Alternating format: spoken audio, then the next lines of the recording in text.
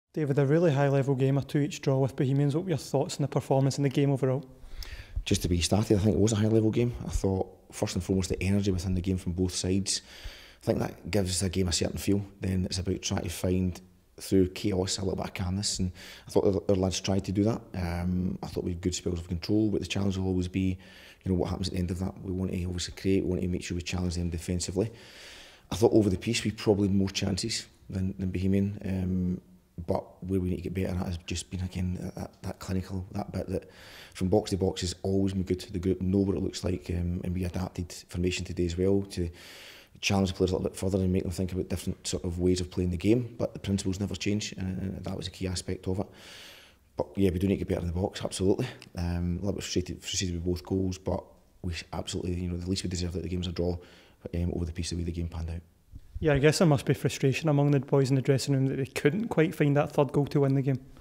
Yeah, I think that's because you know, like any player, you want to perform. Of course, you do, but you want to win, and it's trying to get that balance between both and try to get turn these draws and get them over the line and find a way of, of, of winning the game.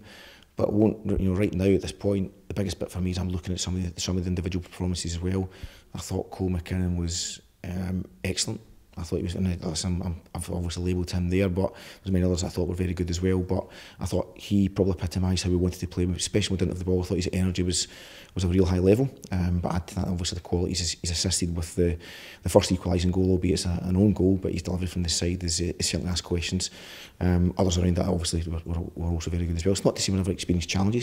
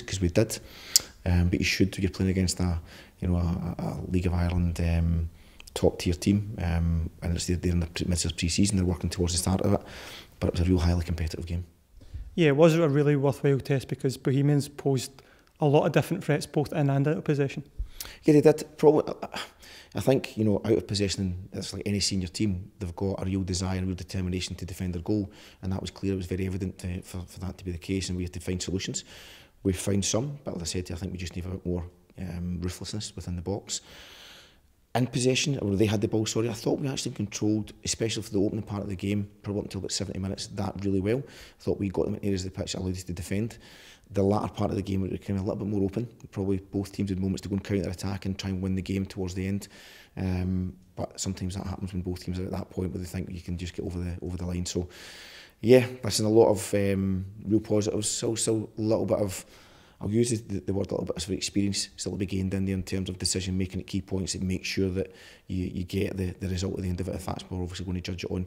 But I'm really pleased with the, the performance of the group within that, what was, I thought, a highly competitive game.